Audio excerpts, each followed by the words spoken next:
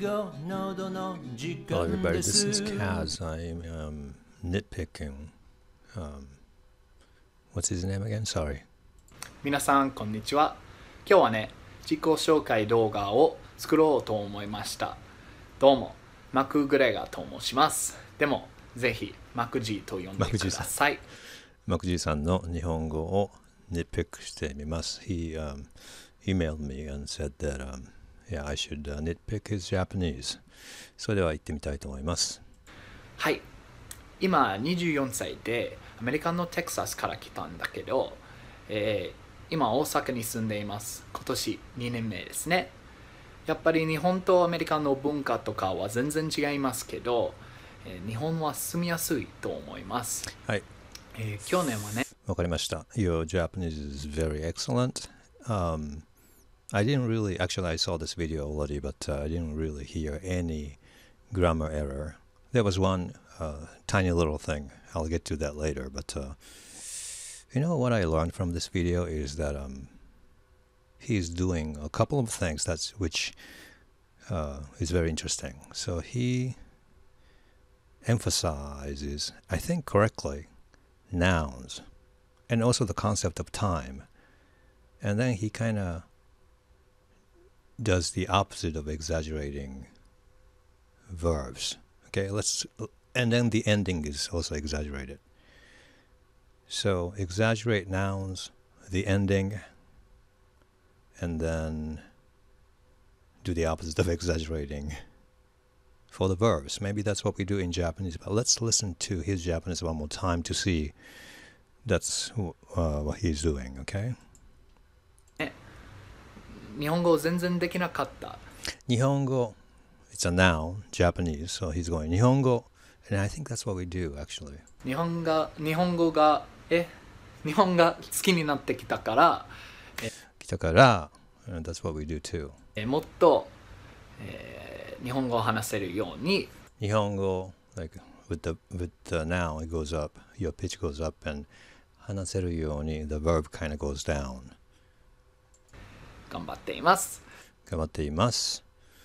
I think Japanese people like to hear that uh, uh, ascending pitch ending too. 日本語を勉強する理由日本語を勉強する理由 Yeah. はいろいろあります。まず、とりあえず日本に住みたいから、日本に住みたいから、like a noun goes up. 日本語を知っていればもっと楽にれば、なりますね。生活はね。ね。生活はね。次、えー That's, 次 is next, and that's like a concept of time. これは大事こ大事なことかもしれないです。え大事なこと。So nouns, you kind of emphasize nouns in Japanese, and that's true. And also emphasize the concept of time.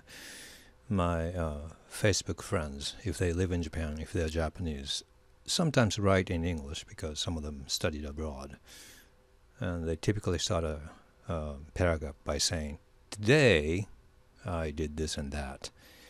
And I think that's coming from Japanese way of like looking at the time as one of the most important things. Kesa, this morning. Kyo, today. Kino, yesterday.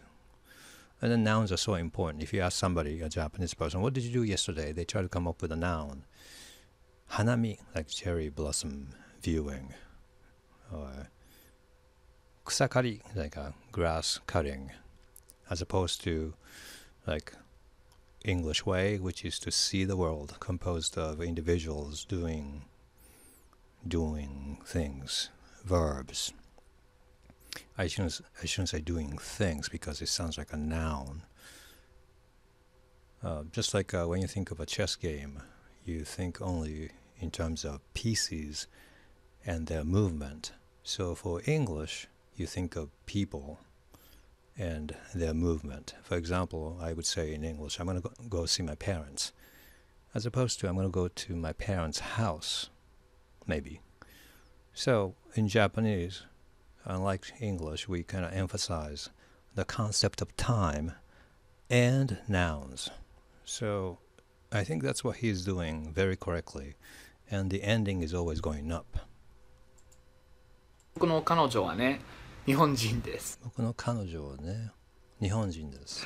えー彼女の英語英語は上手なのに彼女の英語は、 彼女の英語は上手なのに、That's the only error that I caught. I think you meant to say, 彼女の英語は上手なので、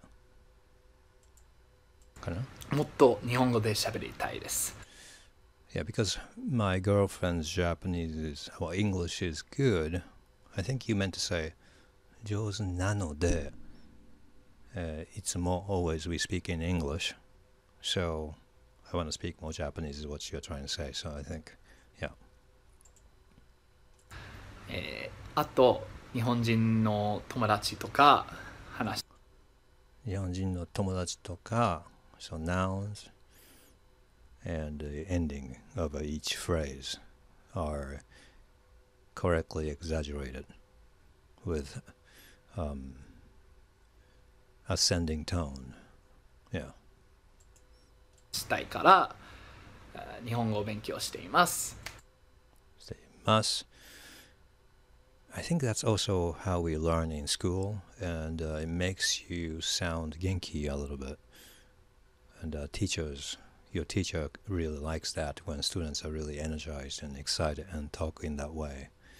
Uh, genki des, like that, I think. But anyway, your Japanese is excellent, and yeah, I think you're doing uh, things really correct.